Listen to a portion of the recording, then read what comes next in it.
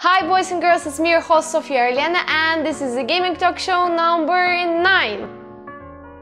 Let's go! Well, if someone living in a box and doesn't know that there was a BlizzCon 2016, what brings us a lot of good news, so let's see what there was. Diablo 1 will be resurrected but in a body of Diablo 3. Blizzard created a special event, The Darkening of Tristram, which will be available in Diablo 3 Public Test Realm next week. So basically you will be able to play in Diablo 1 when you're playing in Diablo 3. Inception. Hope Blizzard will bring Leonardo DiCaprio into the game also. As for me, looks cool. Everything connected to the games look cool for me. I'm a nerd.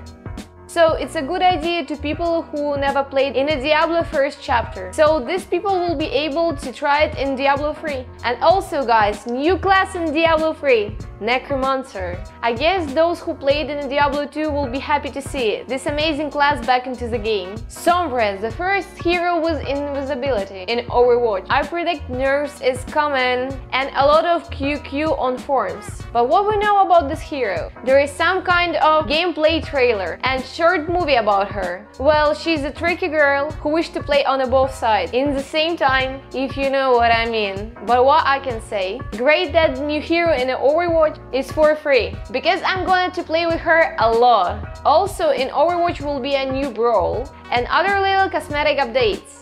Big updates in the Heroes of the Storm. Ragnaros and Varian Wrynn soon will be added to the game. Ragnaros look amazing. He's great defensive class and in the video showing some amazing skills. For example, he can get Aura Destructor and defend it with his body. Also, Varian Wrynn is cool because he gets free specs like Real Warrior also added a new game modes and skins for your transport and heroes. Well, I remember on a previous BlizzCon was announced some kind of arena for Heroes of the Storm. Where it is, Blizzard? And this week, Mr. Bosscat is seeking for your help. He's participated in a Ubisoft competition, what is called Watchdog Film Fest. He made a small movie about the hackers and phones. You can see the preview now here, but he's asking you to vote for him on this web page that you can see now. And there you can see the full movie of it. I hope guys you will help Mr. Bosscat and you will vote for him.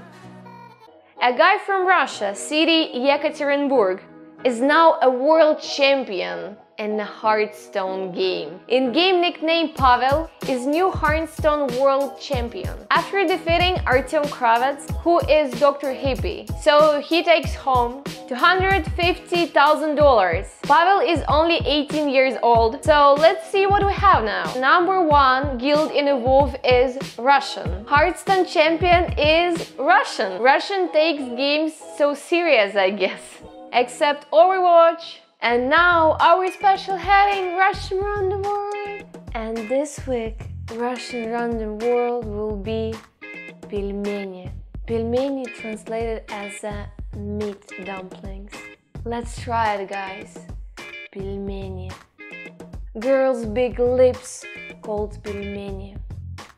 I'm really good at cooking pelmeni. Pelmeni is the best food for a keyboard sportsman. And this week comment is... So yeah guys, thank you for watching and don't forget to put thumbs up and subscribe on my channel and I really hope that together we will help Mr. Boscat to win or to have some votes at all. So yeah, don't forget to put your likes and I love you all. Bye guys. Mwah!